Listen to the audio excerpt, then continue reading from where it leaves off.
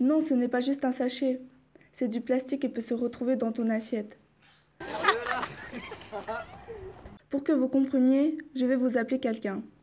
Bonjour, je suis envoyé spécial en direct de l'océan Atlantique. Comme vous pouvez le constater, les océans sont remplis de plastique. Vous vous rendez compte des dégâts?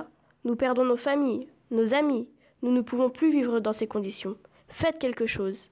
Bah, on l'a pas jeté dans l'océan Non, bien sûr. Mais comment ce plastique est-il arrivé dans l'océan? Je vais vous l'expliquer.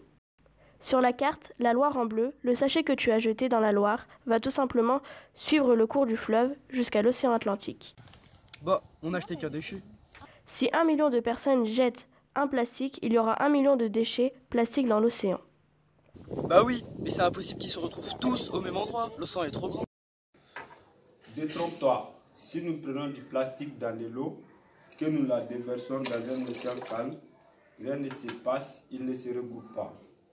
Mais dans l'océan, il y a des vortex, des gyres.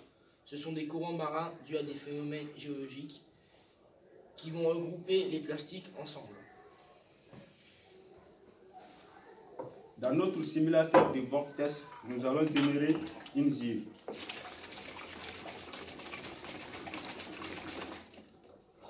Que pouvons-nous observer?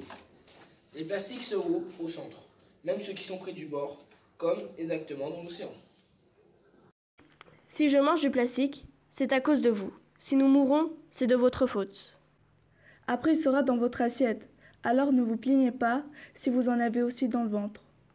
Bah pourquoi? Les sacs plastiques sont fabriqués à partir de granulats de pétrole et ensuite utilisés pour faire ses courses. Puis ils sont jetés, mais parfois emportés par le vent. Quand ils se retrouvent dans l'océan, ils se fragmentent en petits morceaux qui peuvent être ingérés par des pieuvres. Les pieuvres sont mangées par les poissons. Les poissons, avec les fragments de plastique, se retrouvent ainsi dans notre assiette. Maintenant, à toi d'agir